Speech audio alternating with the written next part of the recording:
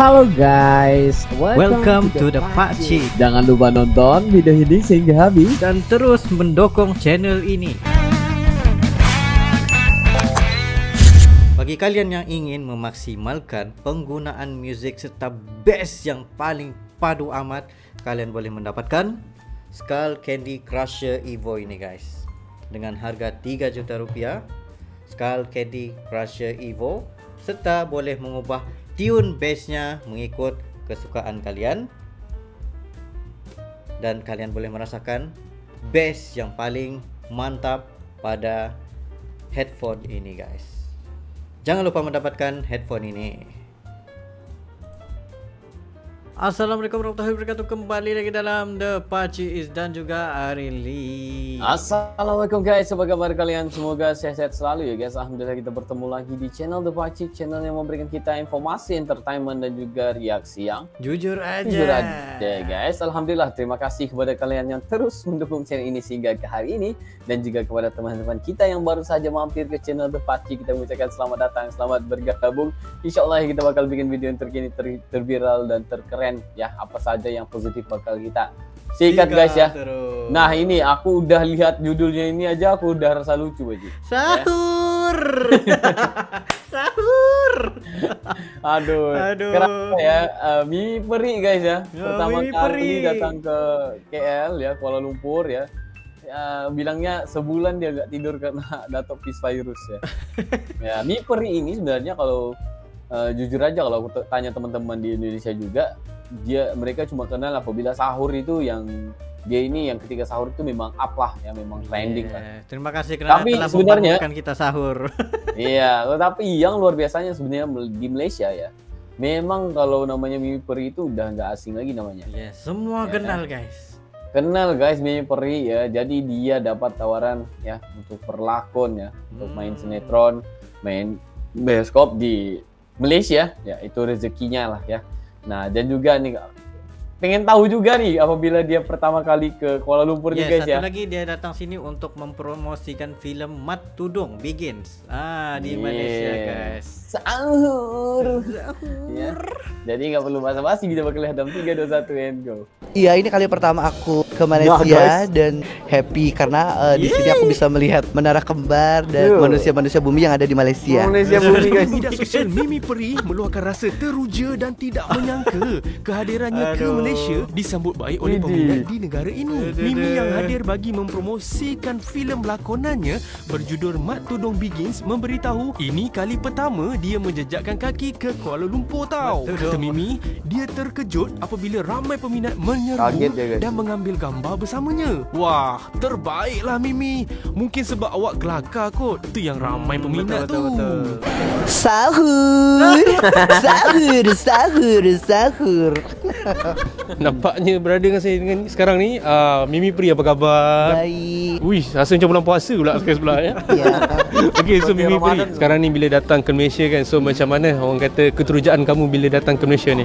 Uh, senang banget dan happy karena uh, di sini aku bisa melihat menara kembar dan manusia-manusia bumi yang ada di Malaysia. Selama aku turun dari kayangan menuju Malaysia gitu. so Mimi Pri katanya ini kali pertamanya kamu mampir ke sini ya. Iya ini kali pertama aku ke Malaysia dan yang bawa aku Dato Fis Virus. Jadi kayak senang dan bangga bisa kepilih di film Mat Tudung. Aku datang ke sini langsung diajak makan nasi lemak dan aku jatuh cinta sama nasi lemak. Tadi aja aku sarapan pagi aku makan nasi lemak lagi. Kita tengok tagline kamu sahur daripada dulu sampai sekarang orang masih ingat-ingat lagi. Khususnya bulan puasa lah orang pasti ingat kamu. Aku tuh sangat bersyukur banget sahur-sahur aku di dari tahun 2018 sampai sekarang masih dipakai sama warga Indonesia, Malaysia, bahkan Singapura gitu kan. Itu jadi kayak icon setiap tahunnya kalau orang mau bangun sahur tuh ingat Mimi Peri. Jadi di setiap masjid kadang katanya ya di Malaysia, di Indonesia, bahkan di seluruh eh, Asia gitu pakai suara aku gitu. Sangat bangga sih. Nah, kamu terkejut nggak bila kamu lihat reaksi uh, khususnya fan kamu lah yang berada di Malaysia? Terkejut banget karena awalnya biasanya aku cuma ngeliat ada di komentar, di DM, di TikTok dan ini aku datang ke Malaysia emang bener-bener ternyata aku terkenal gitu. Ya, jadi untuk selepas ini mau nggak mampir sini lagi, temu sama fan kamu, hiburkan mereka. ya insya Allah dengan senang hati. Jadi kalau macam mana kamu apa bekerja sama dengan Datuk Fiz Fairuz kan dalam waktu Rehat ada kesukaran atau enggak? Untuk kesukaran mungkin aku karena baru ya di dunia film jadi kayak sebetulnya banyak sih cuman karena aku mau belajar dan Dato juga memberikan arahan yang sangat bagus jadi hasilnya juga bagus berterima kasih banget sama Dato Fish Virus bisa berperan di film Mak Tudung sebagai penasehat Johanna dan Sabrina gitu Okay, so jadi kamu mimi kan bila dah ber, orang kata berlakon dalam filem Mak Tudung Begins kan. Kamu teringin tak lebarkan sayap kamu ke Malaysia? Maklumlah kamu fannya di banyak sih di Malaysia. ingin Uh, mudah-mudahan dengan uh, film ini laris aku bisa dipanggil lagi gitu menjadi bintang film ya fenomena Bila kamu kali pertama bertentang mata lah dengan Fifaru. Bisa ni sebelum ini video call saja kan? pertama kali aku ketemu Dato kayak deg-degan gitu dia kayak sebulan Deg-deg gitu ya. Iya sebulan nggak tidur.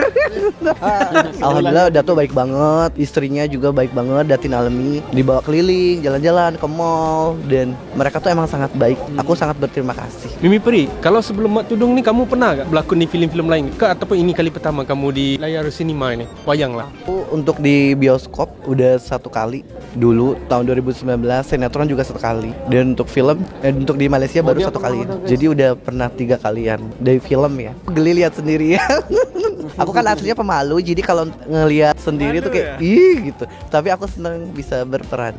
Halo buat warga Malaysia jangan lupa nonton ya film Mak Tudung Begin tanggal 3 Agustus di seluruh pawaga Malaysia. Ada aku loh.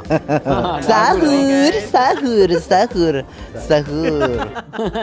Itu memang jadi ikonik lah di mana-mana pun orang akan ingat. Sahur memang Mimi Peri Iya memang Mimi Peri. Kita udah tahu ya. guys. Aku kembali lagi. Ah gitu. Ah ini ya. Tahu sudah dia siapa nih, tuh, guys. Ini guys. dia nih guys. Ini mau Mimi Peri. aduh sahur Tapi dia sebenarnya buat fenomenal lah bagi kita di Malaysia jujur aja ya guys. Karena kalau setiap setiap bulan puasa itu pastinya ah kita mencari-cari juga ya mana suara ini kalau nggak ada itu susah juga sebenarnya ya kan. betul, betul. Maksud aku itu dia menjadi satu satu udah jadi satu tren lah ketiga bulan puasa ada misteri yang bangunin sahur gitu. Nah, dia bagus juga sebenarnya ya. Nah, itu menunjukkan wah kita berada di bulan puasa nih karena ada mimpi kejutin kita sahur gitu ya kan. Nah, Betul, dan betul, juga betul. kalau di channel-channel ataupun TikTok atau apa ya, pasti mimpi ini ada aja konten yang memang sangat lucu, sangat memberikan kita eh, apa auto segar lah kayak gitu ya. Memang lucu sekali dia orangnya. Dan juga ya congratulations ya selamat ya semoga betah di Malaysia. Ya Yeah, semoga semoga eh, banyak lagi rezeki rezeki. banyak lagi job-job ya Ah, di Malaysia ya uh, supaya dapat menghiburkan ya uh, makhluk-makhluk bumi di sini ya guys ya. Yang turun baru dari turun dari kayangan, itu ya. Lucu sekali orangnya ya jujur jujur ya. Aduh. yang penting positif aja kalau kita di Malaysia itu positif aja memang akan didukung guys ya. Nah jadi yang ini guys ya gimana guys Ah, apakah seru ataupun enggak kita akan nantikan eh, pada 3 Agustus ya 3 Agustus ini Nah, maksudnya antara hari ini ya, esok ataupun kemarin udah ya. Mhm. Kita bakal lihat nanti insya Allah ya. Lucu ataupun enggak, seru ataupun enggak kita bakal lihat nanti. Jadi guys, mungkin satu kali ini Mas ya. Yes, itu saja pada kami berdua. Sekiranya kalian ada lagi sebarang video untuk direaksi, just komen dan berserta dengan link dan insya Allah kami akan coba yang terbaik untuk merealisasikan video-video Anda. Ya, mungkin itu saja untuk kali ini. See you for the next video. Assalamualaikum wabarakatuh.